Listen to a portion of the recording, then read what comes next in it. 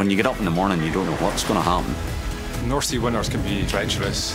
Everything is much harder when the boat is rolling about.